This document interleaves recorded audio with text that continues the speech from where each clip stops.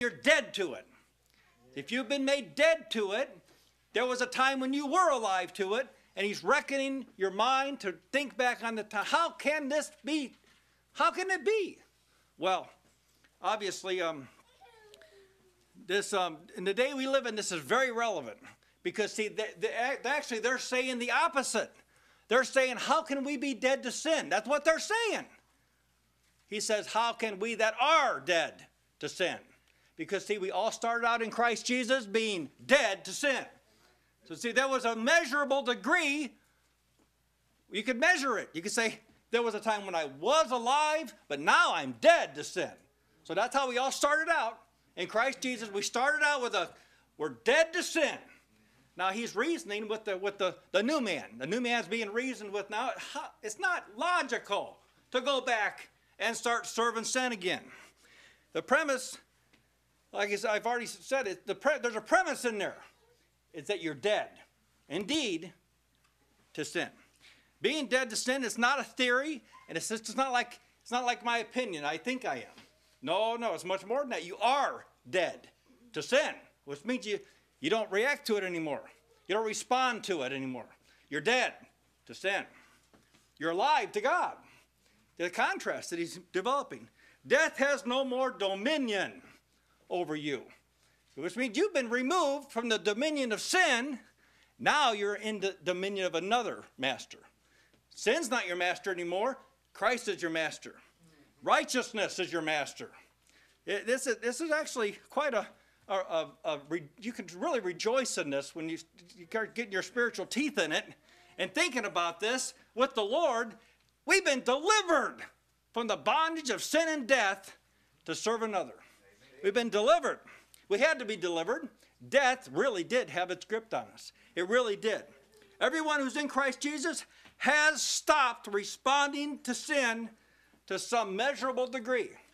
I say that because this is, see, it has to be this way. If we all started out righteous in Christ Jesus, then you could measure that. The question produces its own answer for those who are seriously interested in maintaining spiritual life.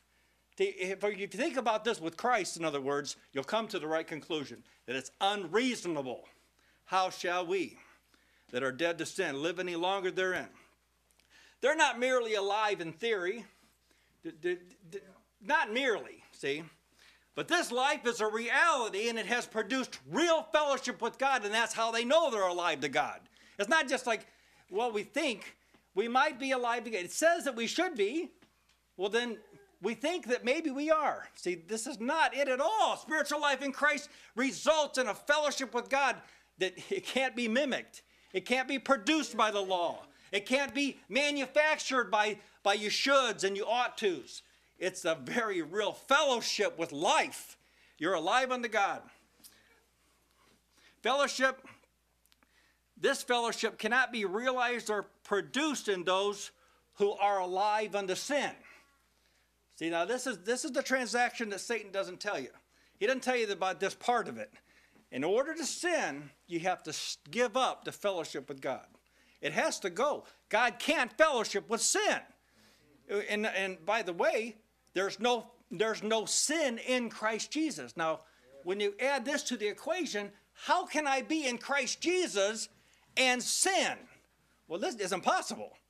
It's just as impossible as being dead to sin and being alive unto to sin, to God. Okay. Joseph, I was thinking about this. Joseph could answer this question. Joseph would have no problem answering this question in the day we live in. He would look at this question, he would say, It's not reasonable. This is not reasonable. He was, he, you know, he had a very similar circumstance. Here he was, he was put over a house, Potiphar's house. Potiphar actually purchased him. He was Potiphar's slave. He, Potiphar owned him. Put him in charge of his whole house. Why? Because he saw that this man had favor with God. He saw that in, in, in, Joseph. So he put him over his house. He saw that everything this man did, God profited his hands, the work of his hands. He put him over his house. He was over everything.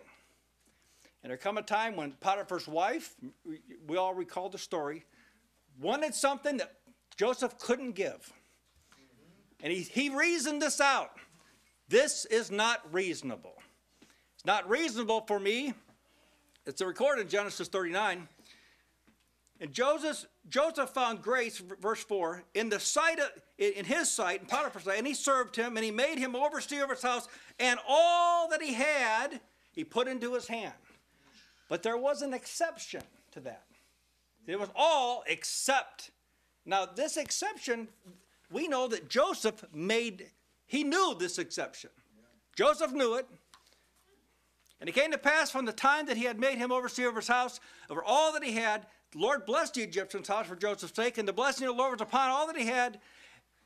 And he left all that he had in Joseph's hands. And he knew not aught he had. Now, this is very special. There's not a lot of people that this can be said about. That Potiphar, he, he didn't even worry about it. He put it in Joseph's hands, and he, he left him to make these decisions. Save the bread which he did eat, and Joseph was a goodly person and well favored. Joseph had been put in, in, you might say he was put in charge. He was the oversight of everything that this man had. He trusted him. Now, there's a sense in which God has trusted you.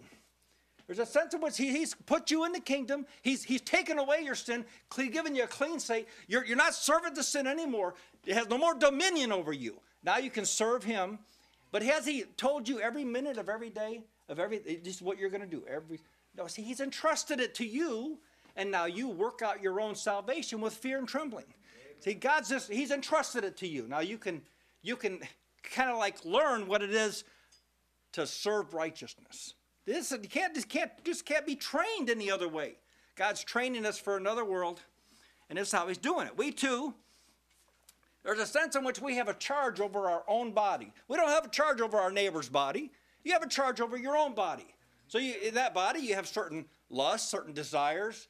See, you've actually been put in, in a body that has an old nature and a new nature in the same body and it, they're they're like at war with each other. And so, but see, you're the commander. The new man's been put in charge, and he's the commander, and he can say, "No, that's not. You're not going to glorify God as much as this will." You see how we've been put in charge. That's how Potiphar put Joseph in charge of his house. He saw that God blessed the work of his hands, and so he let him make the decisions. Well, it's a very wise man. It came to pass after these things that his master's wife cast her eye upon Joseph, and she said, Lie with me. Now, sin is, is like this sin's like an enemy, and it has its desire.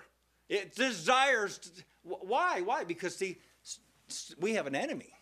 We're not alone here. We have an enemy. And this enemy knows how much God hates sin. And so he knows if he can get you to sin, then see this, you'll, what happened? What happened? Just with the accusation of, of Joseph sinning. Even though J- Joseph was cleared, he hadn't sinned, and yet you can see that the accusation, sin has a desire, it has a purpose. See, it, it's not just random. Sin actually wants to bring you out of favor with God, just like Joseph was brought out of favor with Potiphar. What happened when Joseph was made was brought out of favor? His master became angry and he was put into the prison house. That's what happened. And he hadn't even done anything, but it was the accusation. See, now, now, now sin, we know that we, we stand before a holy and a righteous God. That, see, this, God knows. We don't have to guess, well, am I, you know, am I going to be brought up under these charges? Although sometimes these kind of things do happen, but well, remember that um, sin is our enemy. Mary asked Cain, God asked Cain, He said, If thou doest well, shalt thou not be accepted? This is very comforting. And